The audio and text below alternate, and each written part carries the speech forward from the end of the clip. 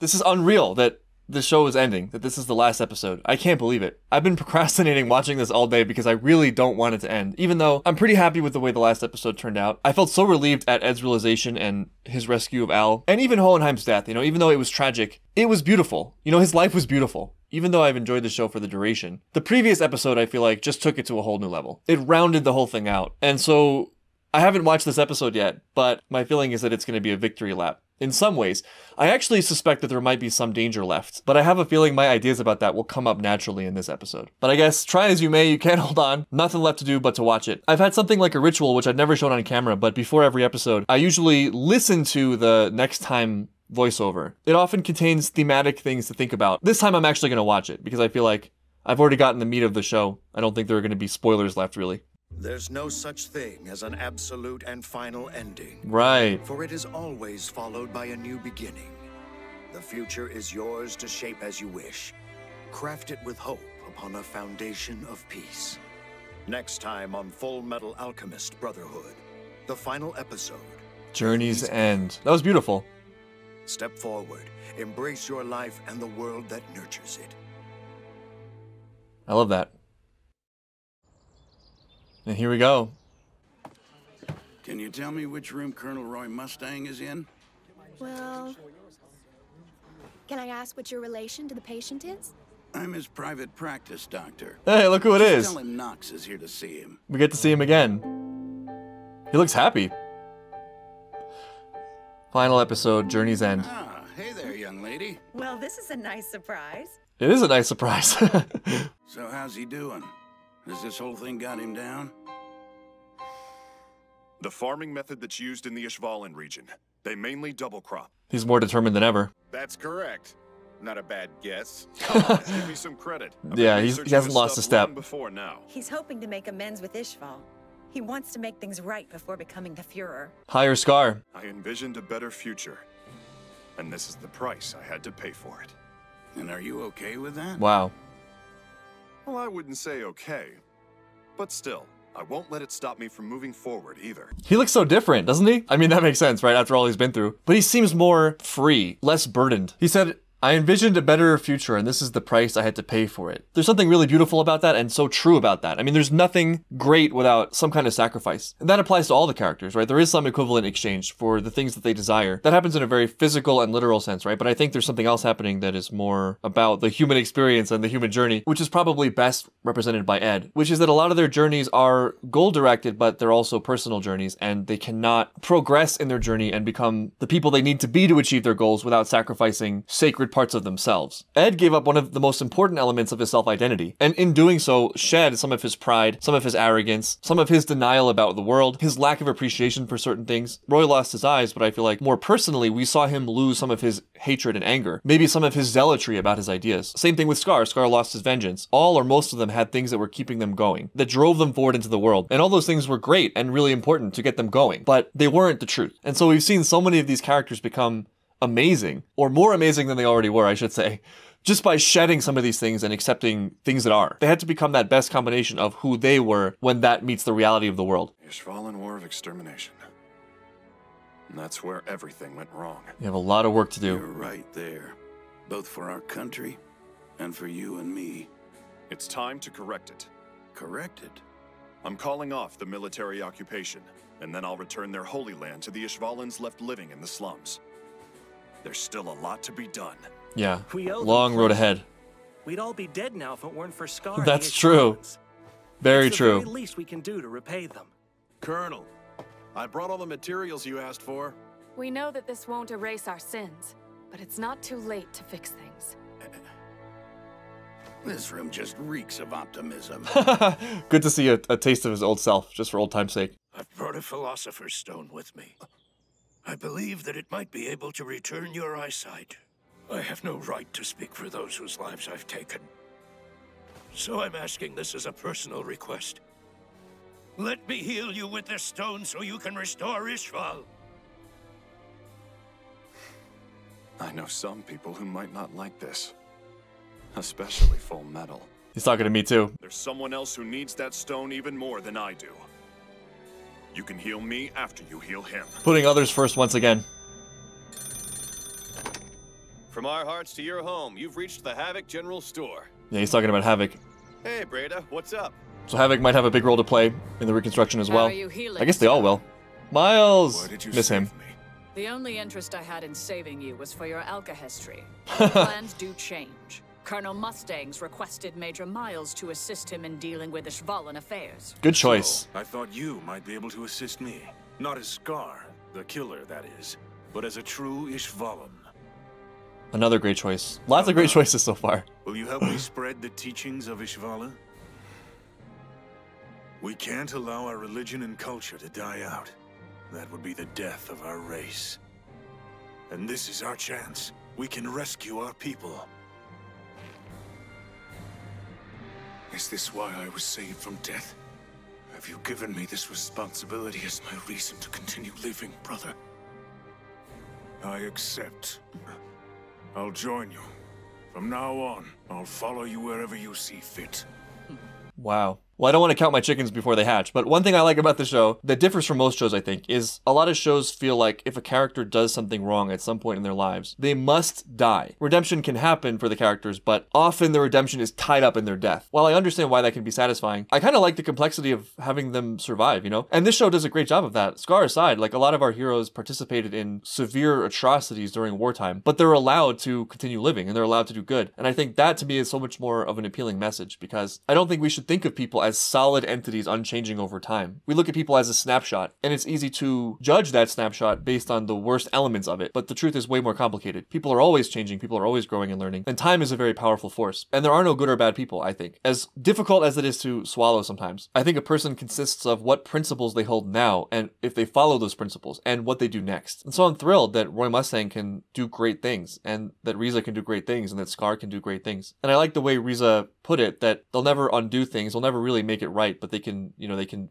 fix the current situation. They can try to make things better. I also like the fact that all of them are finding new things to focus on because that is sort of the lie in a lot of these stories, right? Like the happily ever after thing where you're now a complete person. But for me, I think meaning in life is not derived from an achievement. It's not derived from one particular journey. It's the moment to moment interplay of self with world. It's not so much having done something or having achieved something. It's about living. Why don't you tell us your real name?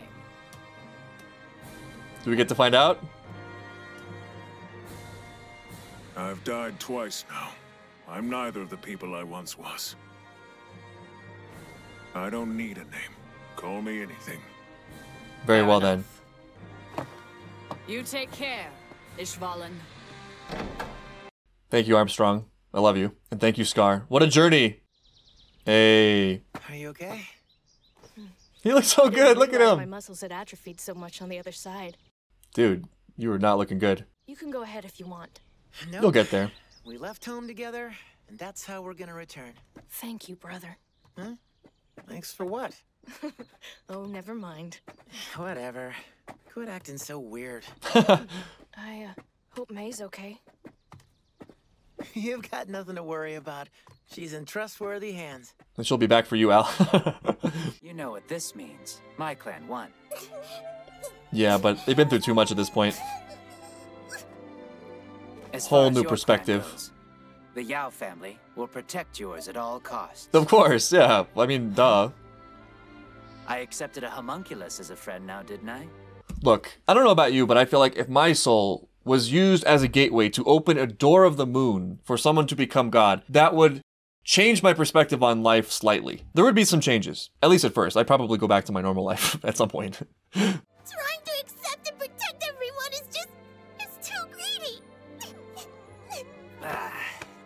He's learned a thing or two about greed, yeah.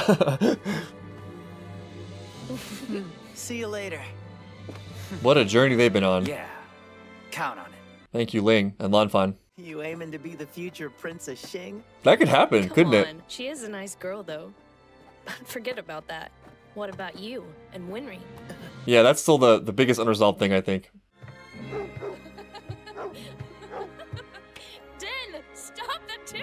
Oh, does she? She doesn't even know, does she? This is gonna be huge.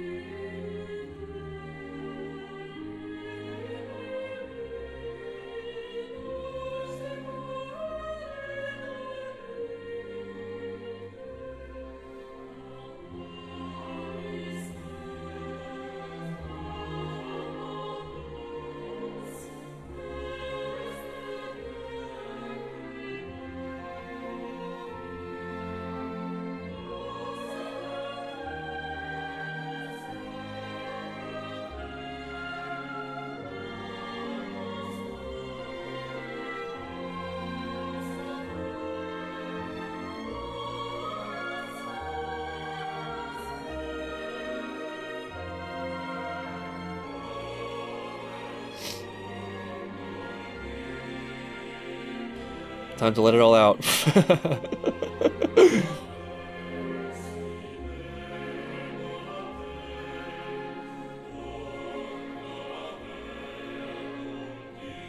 Winry's one of the few people who would really understand. Dummies, welcome. Thanks. What, no wrench this time? Good to be back. Beautiful. What a great choice. Full Metal Alchemist. Roy's team. Even though Winry didn't play a huge role in the finale, to me she feels like a silent but integral part of the, the whole thing. She has sort of epitomized a lot of the qualities that I think a lot of the other characters came to be through their journey. She kind of started out great. I think it's her support for the brothers partly that, that made them who they are. You know, that made them as good as they are. The show focuses very heavily on Ed and Al, but I think it's been made clear that they're a trio. You know, they've sort of been in it since the beginning. So it's uh it's very moving for me to see Winry get the realization that, you know, things have worked out because we know how much that means to her. nice. Fast forward. This should not be this hard. Damn, looking like a man. It was worth it. Brother, what's taking so long? I've been thinking about something lately. Me too. And I bet we're thinking the same thing.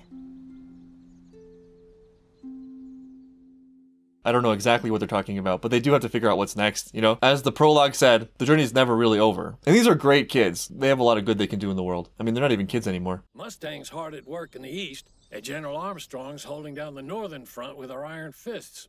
I might be able to remain the Fuhrer for some time with the two of them by my side. He's the Fuhrer? I'm grateful to have them. You aren't going to turn the throne over to a younger man? Not just yet.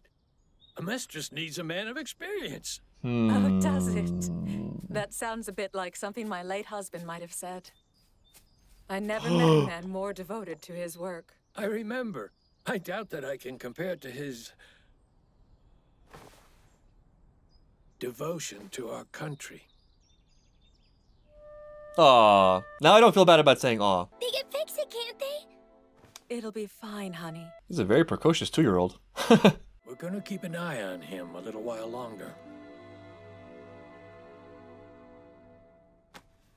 The guy has a butt on the back If of his head. happens to develop any odd behaviors, you understand what must be done. I'll see to it that never has to happen. He'll be alright. I believe. I guess it doesn't matter how old you get. New possibilities are always exciting. Is he talking about the romance with Bradley's wife? alright, Grumman. For all this compassion from people like you and Mr. Hughes, we feel like it's our turn to repay the happiness that's been given to us. Look at his suit. Equivalent exchange? No, it's equivalent if you take 10 and then you give 10 back. But if you take 10 and then you add something of yourself, you return 11. It's not much, but it's an all new principle that we're trying to establish. and now we just have to go out and prove that it actually works. I'm so glad to hear him say that because that's something I've been thinking about since fairly early on in the series where you do wonder, right? I mean, when you think about existence and humans and the world, it can seem to just be the result of a lot of small, moving, but explainable parts. But in some sense, it seems to me that one of the things that existence is trying to do is grow. And while it seems like there's natural atrophy to material things, it seems like there's expansion to potential, to possibilities. For me, and I'm definitely biased because I'm a human being, I feel like human beings are way more than the result of their physical structures. We're not just our materials. Even if we are totally a result or byproduct of our material state, it's not a sufficient summary for all of humanity and its potential. Even if the basis of it is simple, you know, even if the basis is just cause and effect, the result, to me at least, seems to be greater than just that linear process. So I take it you've got something in mind? What's next? We're still haunted by the memory of a little girl that we once knew. Yeah, yeah, yeah. We weren't able to save her. We all are. We'll never forget that. No, we won't. Come on in. more, uh, more noises Zampano. from Zampano. Hey, Al, there's plenty of food. Dig in. Thanks. Food, finally. I'm gonna travel all over the East and study everything I can about their cultures. It's a big world. I wanna see all I can and learn all I can and meet new people. And eat all I can and sleep.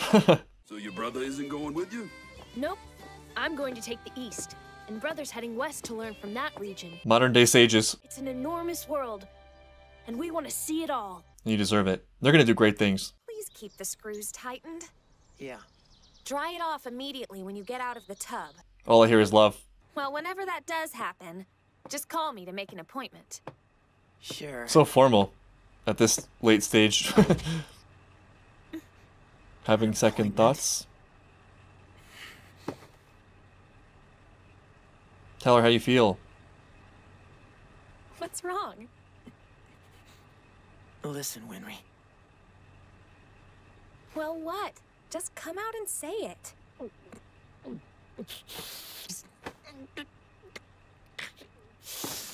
Equivalent exchange!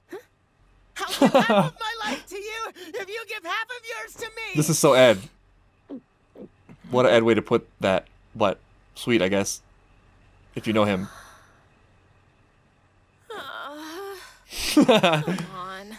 You have to treat yeah. everything like alchemy. The whole equivalent exchange thing is just nonsense. What'd you say? Ugh, it's nonsense. How about I just give you my whole life? Well, that's the answer that you wanted, right? Forget the phrasing. Yeah, you said it. That came uh, out. Can't take it back. 90? We all heard you. 80%? 70. That's not enough. But 85. Yeah, 85 is a good number. Do what? Shut up! I'm sorry, really. Edward! You are so incredible. you knocked equivalent exchange flat on its butt in just a few words. Uh, and what's that mean? Are you making fun of me? Not at all. Thanks for cheering me up. I'll miss you. Yeah, Winry's always sort of been the smartest in her way. Come home soon.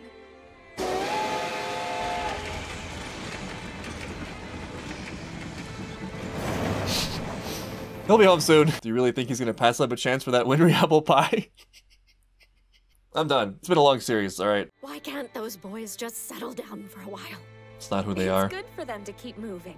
Yes, keep moving. Men who just sit around doing nothing are boring. There's no such thing as a painless lesson. They just don't exist.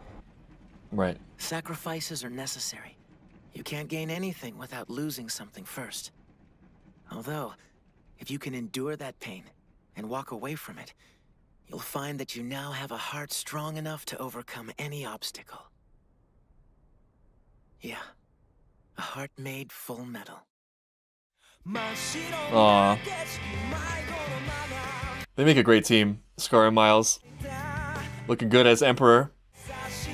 The new Madam Christmas? Whoa, this is flashing way ahead. Nice. Like father, like son, traveling the world. Wow. Well, that gave me everything I ever wanted.